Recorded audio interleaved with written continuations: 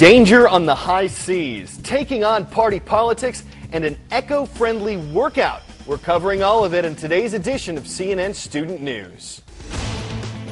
First up, hijackings near the Horn of Africa, where piracy of all things is on the rise. Yesterday, a cargo ship was attacked off the coast of Somalia. This just days after the capture of the Sirius Star. That's a Saudi Arabian oil tanker about the size of a U.S. aircraft carrier. Experts believe it is the largest vessel ever seized by pirates, but it's just one of the dozens of ships hijacked this year. Alfonso Van Marsh examines the danger facing sailors as they pass through the waters where these attacks are taking place. Hello, Beastie. Jack Sparrow in The Pirates of the Caribbean. Captain Hook in The Adventures of Peter Pan. That's the image of pirates in popular culture.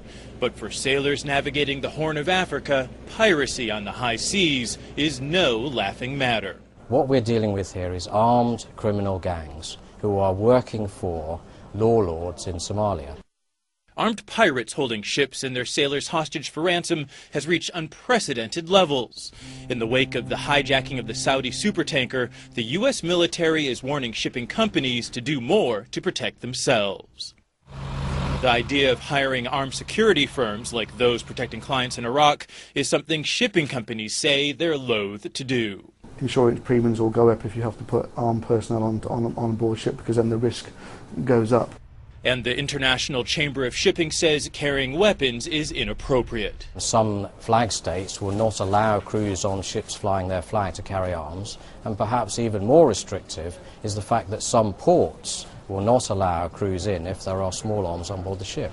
Shipping experts say most crews prefer to be known as unarmed sea merchants, so they can do little more than dispatch more lookouts at night, use fire hoses to keep pirates at bay, or improve engine speeds to outrun them.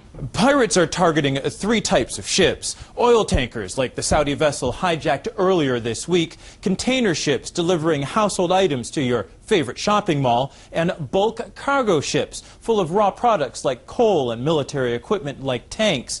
But it's the ship and its sailors that are the most valuable treasure. And where ships traditionally sail through the Suez Canal and into the Gulf, now some shipping companies say it may be safer for those boats to actually work this way, sailing down the east coast of Africa and around the Cape of Good Hope, though that didn't help the Saudi supertanker. And that would add weeks to shipping deliveries and drive up costs. Shipping experts say better coordinated military escorts are a temporary solution to the pirate problem. Until then, perhaps the best crews can do is batten down the hatches and hope for safe passage. Alfonso Van Marsh, CNN, London. A word to the wise.